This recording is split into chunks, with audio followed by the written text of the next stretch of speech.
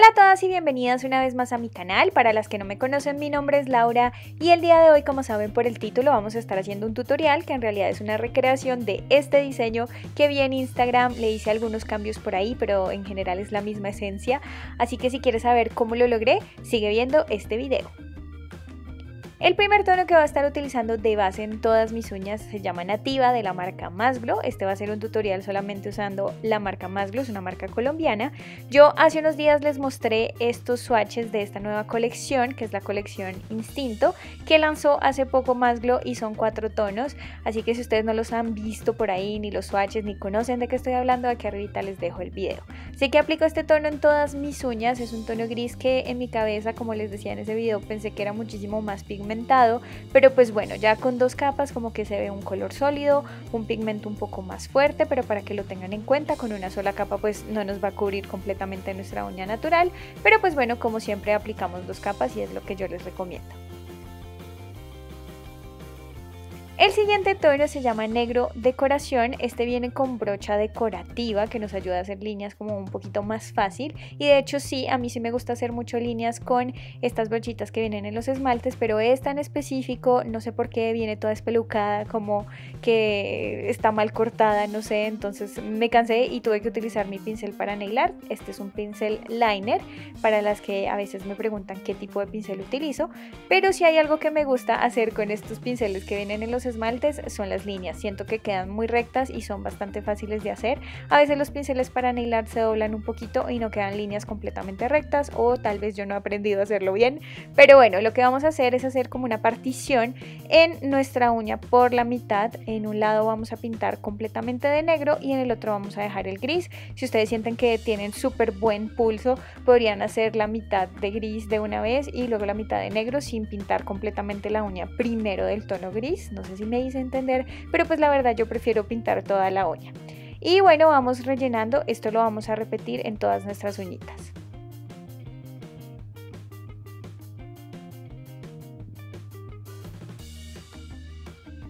Ya que está así, nos vamos con el tono tiza, también de decoración, pero este es un tono blanco y ahora que lo pienso, se me hace raro que este también tenga como el pincel raro, como un poquito unas cerditas o unas como unos pedacitos del pincel un poco más largos que los otros, no sé. Bueno, comenzamos con este diseño y es como inspirado, según yo, en estas pañoletas como vaqueras o pañoletas noventeras. Aquí les estoy insertando una imagen porque no sé si me entiendan, no saben si saben a lo que hago referencia, pero bueno, tiene como muchas figuras, muchos puntos, figuras bastante abstractas, eh, formitas de gotas, en fin, como varias cosas por ahí.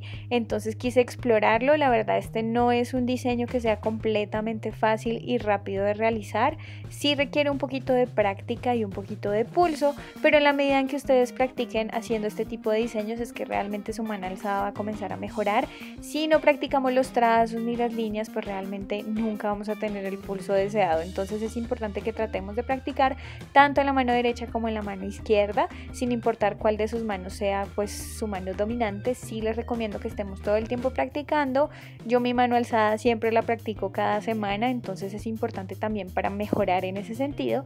Y bueno, dense cuenta que no estoy haciendo exactamente el mismo diseño que vi, sino como con ya algunos elementos que yo quise inventarme por ahí. Pero bueno, la verdad es que se ve muy bonito, siento que se ve bastante producido y de hecho sí lo es, eh, pero pues se ve elegante, se ve raro. Ay, no sé, ustedes díganme en los comentarios a este punto cómo ven este diseño, cómo lo sienten.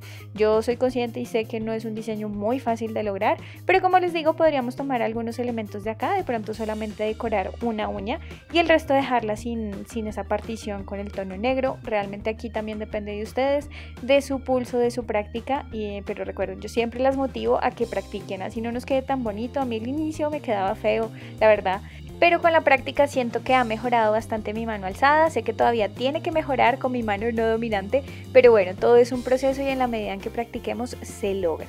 Así que bueno, aquí nos vamos con la uña del dedo meñique. Como les digo, hay figuras que se repiten por ahí, eh, que de repente sí son parecidas, pero yo trato como de que cada uña quede con un diseño diferente, pero con los mismos elementos por ahí ordenados de manera distinta.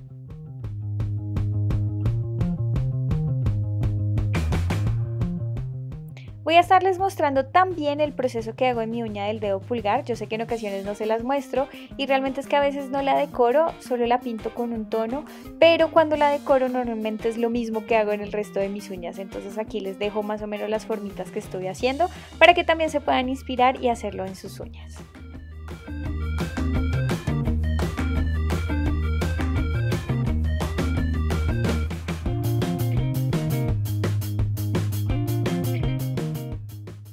Y ya que se ve más o menos así, como que tú ya sientes que la decoración te gusta y está bien, nos vamos a ir entonces con nuestro finalizador y en este caso voy a estar utilizando el brillo gel de Masglo. Este no necesita lámpara tampoco, lo cual está chévere y por el momento a mí me ha funcionado muy bien con los esmaltes de Masglo.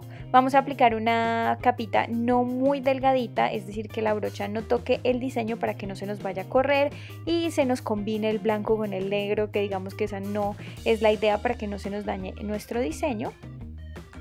Y ya que seco un poquito, así es como se nos ve. Díganme ustedes qué opinan de este diseño. A mí me gustó muchísimo. Siento que se ve muy elegante, pero a la vez bastante raro y diferente. Es algo que puedes recrear con tus tonos favoritos. No tiene que ser solamente con gris de base, sino con cualquier otro tono. Me lo imagino con rojo y siento que también se vería muy lindo. Así que bueno, si lo recrean, no olviden mostrarme por mi Instagram. Recuerda suscribirte a este canal para que no te vayas a perder ninguno de mis videos. Les agradezco muchísimo por todo el apoyo que hemos tenido. Este canal sigue creciendo y la verdad está dentro de mis motivaciones seguir compartiendo con ustedes este lindo arte. Les envío un abrazo gigante y yo las veo en un próximo tutorial. ¡Chao!